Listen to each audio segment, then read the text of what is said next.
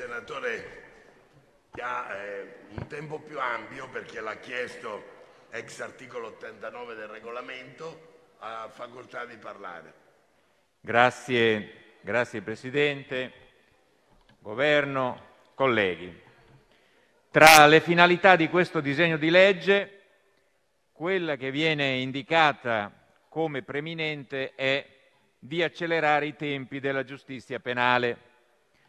Tra i principali strumenti anche di questa riforma, come di quella civile che abbiamo discusso ieri, viene individuato l'ufficio per il processo, al quale vengono destinati ben 2 miliardi e 342 milioni di euro, cioè la quasi totalità dei fondi stanziati per la giustizia dal PNRR.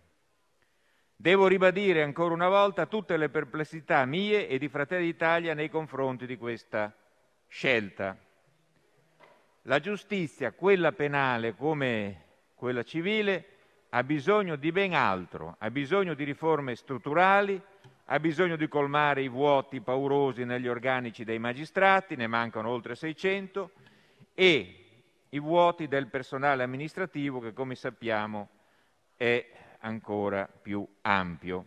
Ha bisogno di ingenti investimenti per la digitalizzazione e per fortuna questi sono previsti, ma anche per la migliore organizzazione degli uffici e in molte parti d'Italia per la modernizzazione dei palazzi di giustizia, troppi ancora in condizioni precarie, per non parlare dell'edilizia carceraria, perché il sovraffollamento carcerario si risolve costruendo nuove carceri e nuovi padiglioni, non abrogando di fatto la pena detentiva e liberando i delinquenti come fate purtroppo con questo disegno di legge, né con la cosiddetta vigilanza dinamica, che ha consegnato il controllo delle carceri alla criminalità organizzata. L'ufficio del, per il processo non servirà ad abbreviare i tempi dei processi. Lo sa chiunque abbia un po' di pratica giudiziaria. Tantomeno servirà a smaltire l'arretrato. Per questo era molto meglio ricorrere al reclutamento straordinario di avvocati con lunga esperienza professionale e di magistrati in quiescenza, cui affidare la decisione dei procedimenti con maggiore anzianità di ruolo e minore complessità. E soprattutto si poteva e si doveva valorizzare la professionalità di migliaia di giudici onorari, stabilizzandoli, riconoscendo loro i diritti che uno Stato di diritto riconosce a ogni lavoratore e impegnandoli nella definizione dei procedimenti di competenza del Tribunale monocratico. Invece, li avete mortificati ancora e continuate a mortificarli, dimenticando che senza il loro lavoro semplicemente la giustizia italiana avrebbe già dichiarato fallimento. Ciò premesso e ribadito che è una mera illusione credere di risolvere problemi strutturali con semplici riforme di procedura, fossero anche le più intelligenti, e queste per gran parte non lo sono, non tengo eh, non nego che alcune soluzioni contenute in questo disegno di legge siano positive, non lo nego. A cominciare ad esempio dal processo penale telematico, anche se, se sarebbe stato necessario prevedere una maggiore gradualità nella transizione alla obbligatorietà dell'utilizzo delle modalità digitali per il deposito di atti e di documenti. Così come non nego che sia positiva la modifica della disciplina delle notificazioni all'imputato, in modo che solo la prima notifica e la citazione a giudizio in primo e secondo grado debbano eh, avvenire eh, al, al indagato o all'imputato, mentre tutte le altre possono avvenire al difensore. O ancora è positivo l'ampliamento del regime di procedibilità a querela, e ancora l'intenzione di restituire effettività alla pena pecuniaria, che oggi esiste solo sulla carta, visto che oscilla negli anni tra l'1 e il 2%, con una perdita annuale per l'erario di circa un miliardo di euro, cioè, cari colleghi, quasi il 50% dell'intero fondo stanziato dal PNRR per la giustizia, in un solo anno. Ma a parte queste e poche altre misure positive, ce ne sono molte altre, troppe, che Fratelli d'Italia non può condividere e giudica molto pericolose. La più grave di tutte è la riforma della prescrizione e l'introduzione della improcedibilità in appello e Cassazione attraverso il nuovo articolo 344 bis, con una commistione illogica e irragionevole tra un istituto di diritto sostanziale come la prescrizione e uno di diritto processuale come l'improcedibilità. Un evidente compromesso tra le forze politiche che compongono questa spuria maggioranza che però ha prodotto un mostro giuridico. Dovevate avere il coraggio di abrogare la riforma Bonafede. Questa era la soluzione. Una riforma che ha bloccato la prescrizione dalla sentenza di primo grado, non solo in caso di condanna, ma addirittura di assoluzione. E dovevate avere il coraggio di tornare al sistema previgente, magari aumentando i termini per determinati reati di maggior allarme o di eh, complesso accertamento. Di questo si poteva e si doveva discutere. La soluzione di confermare la riforma Bonafede e poi limitarne l'efficacia con il correttivo dell'improcedibilità non ha invece alcun senso. Certamente non contribuirà ad abbreviare i tempi del processo di primo grado.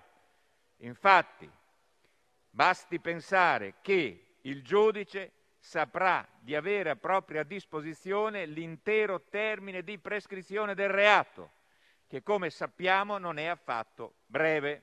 Ad esempio, sette anni e mezzo per un semplice furto o per una truffa, dodici anni e mezzo per corruzione, tredici anni e un mese per peculato. Il giudice di primo grado li utilizzerà tutti, li utilizzerà tutti, tanto sa benissimo che in ogni caso con la sentenza di primo grado la prescrizione si bloccherà e in appello si applicherà il diverso istituto dell'improcedibilità, che non terrà conto di quanto tempo è stato impegnato a decidere il primo grado. Risultato prevedibile, una dilatazione irragionevole dei tempi, non una sua abbreviazione, non una loro abbreviazione. Con tanti saluti all'articolo 111 della Costituzione e alla ragionevole durata del processo. Altrettanto gravi le conseguenze a carico delle persone offese.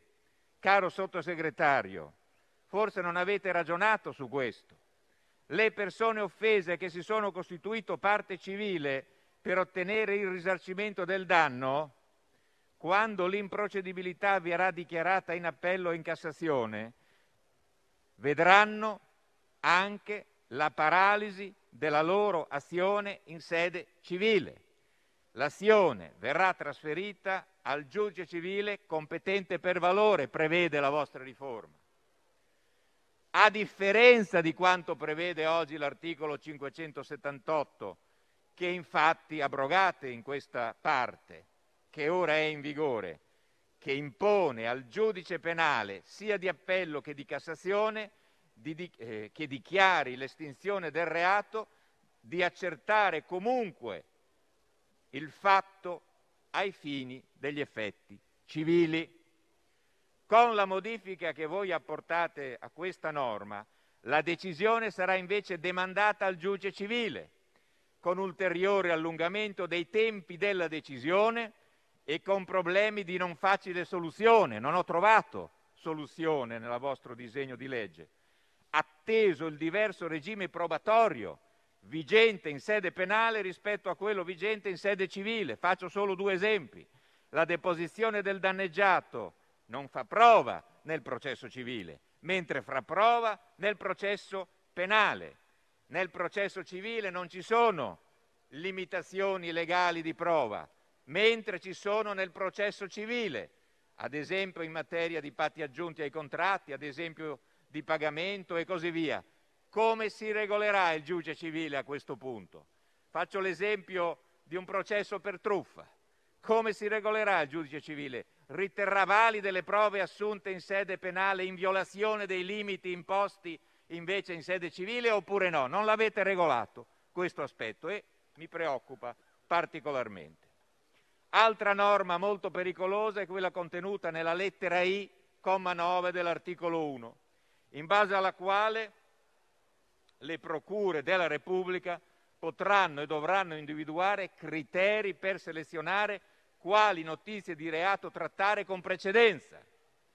Altro che la discrezionalità di oggi. Questa sarà la vera discrezionalità, anche se nell'ambito di criteri generali dettati con legge del Parlamento. Criteri generali dettati con legge del Parlamento. Il rischio, spero di sbagliarmi, ma il rischio di discrezionalità nella scelta di quali reati perseguire e quali abbandonare all'oblio e alla prescrizione è evidente. Una tale discrezionalità si pone in palese contrasto con il principio della obbligatorietà dell'azione penale sancito dall'articolo 12 della Costituzione. E attenzione, l'articolo 12 della Costituzione è una diretta esplicazione dell'articolo 3, in base al quale la legge è uguale per tutti. Tutti siamo uguali davanti alla legge. Questa norma viola questo elementare, fondamentale principio della nostra Costituzione. Concedere un tale potere discrezionale alle procure pertanto palese, eh, rappresenta pertanto una palese incostituzionalità e rischia di creare differenze inammissibili da territorio a territorio. E non è inverosimile immaginare addirittura una sorta di turismo criminale con i delinquenti che si spostano da territorio a territorio in base alla loro specializzazione, si fa per dire, criminale, scegliendo quel territorio in cui possono contare sulla sostanziale immunità. E a nulla vale obiettare che già adesso l'articolo 132 bis delle disposizioni di attuazione del codice di procedura penale prevede che nella formazione dei ruoli d'udienza si tenga conto di determinati criteri di priorità. Un conto infatti è stabilire quale dibattimento abbia la precedenza rispetto ad altri che comunque dovranno comunque tenersi e tutt'altro conto è sancire per legge quali reati le procure debbano direttamente ignorare evitando di indagare su di essi. Vado avanti. Ancora, viola certamente il diritto di difesa la previsione che, in caso di mutamento della persona fisica del giudice o di uno o più componenti del collegio, il nuovo giudice possa disporre la riassunzione della pena dichiarativa solo se lo ritenga necessario tutte le volte in cui la stessa è stata verbalizzata tramite videoregistrazione. Bastava prevedere, come noi abbiamo proposto, ovviamente inascoltati, che il trasferimento o il pensionamento del giudice avvenga solo al termine della trattazione dei processi assegnati. Con questa semplice misura si sarebbe risolto il 90% di questo problema. E ancora, viola certamente il diritto di difesa l'inammissibilità dell'appello che voi prevedete quando è proposto dal difensore dell'imputato assente che non sia munito di specifico mandato successivo alla data della sentenza. Norma questa particolarmente odiosa se si considera che inciderà soprattutto sugli imputati muniti di un difensore d'ufficio, cioè sui soggetti più deboli e con maggiori difficoltà di mantenersi in contatto con il proprio difensore. Vado avanti.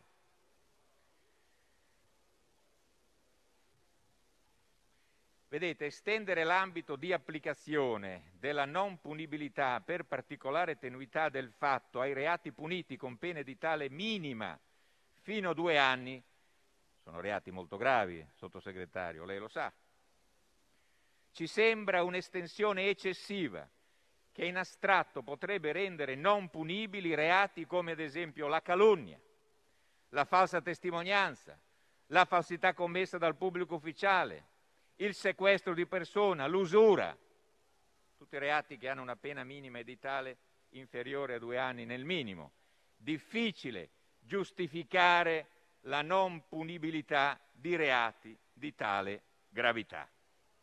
Potrei proseguire a lungo, ma per ragioni di tempo, e ringrazio per il tempo che mi è stato concesso, mi limito a un'ultima riflessione riguardante l'ulteriore impressionante ampliamento delle pene alternative alla detenzione previsto da questa riforma. Attenzione, nessuno contesta che la pena debba avere anche una funzione rieducativa, come dice l'articolo 27 della Costituzione, che cito testualmente, dice le pene devono tendere alla rieducazione del condannato. Ma secondo noi la pena deve conservare il suo valore deterrente e di difesa sociale, ciò che viene pregiudicato dal progressivo svuotamento della espiazione della pena. La funzione rieducativa, infatti, secondo noi, deve passare attraverso l'espiazione della pena, non attraverso la sua sostanziale abolizione. Se viene meno la certezza della pena, viene meno la sua funzione deterrente e si dilata sempre di più il senso di impunità di chi tende a delinquere. Questa riforma infligge un ulteriore vulnus alla già blanda funzione deterrente del nostro sistema penitenziario. Questa purtroppo è la realtà. Fratelli d'Italia vuole processi rapidi e giusti, ma in caso di condanna vuole anche pene immediate e certe. Voi state andando nella direzione diametralmente opposta, mortificando ancora di più le vittime dei reati e il sentimento di giustizia degli italiani onesti. Per tutte queste ragioni il nostro giudizio su questa riforma è purtroppo negativo.